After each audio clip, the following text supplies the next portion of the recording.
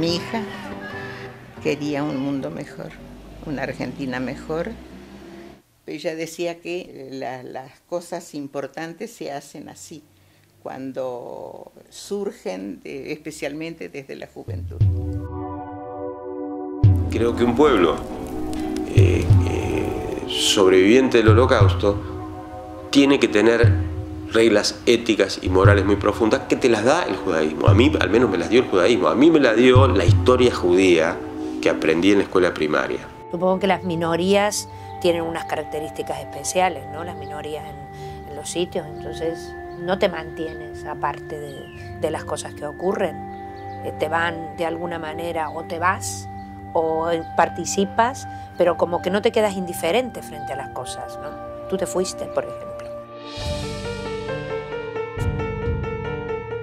Para Miriam y sus compañeros cordobeses, yo era el traidor que abandonaba una coyuntura revolucionaria para construir su vida en Israel, enrolarse en su ejército de ocupación apoyado por el imperialismo y servir a un Estado que vendía armas a los militares que perseguían y asesinaban a nuestros camaradas.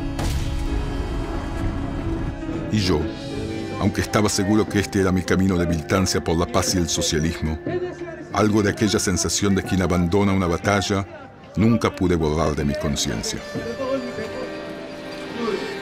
Yuyo, así lo llaman hoy a Rudnik sus compañeros del movimiento Libres del Sur, del que es uno de sus dirigentes. Era osado y excelente orador también en los 70, cuando nos conocimos militando en el sionismo socialista. Estamos convencidos, yo sigo convencido de eso, de que eh, fue ir a a traducir en la práctica los mismos valores con los que nosotros habíamos construido nuestro movimiento en otra militancia.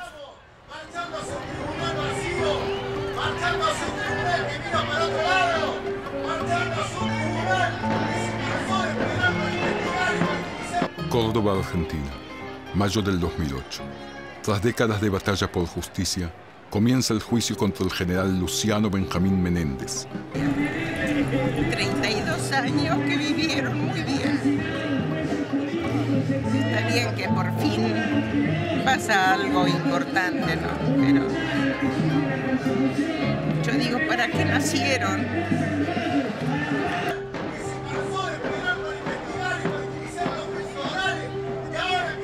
El idioma de las consignas es mi idioma natal.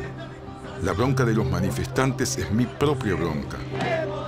Por un momento me siento yo mismo parte de la unidad de lucha por justicia y libertad.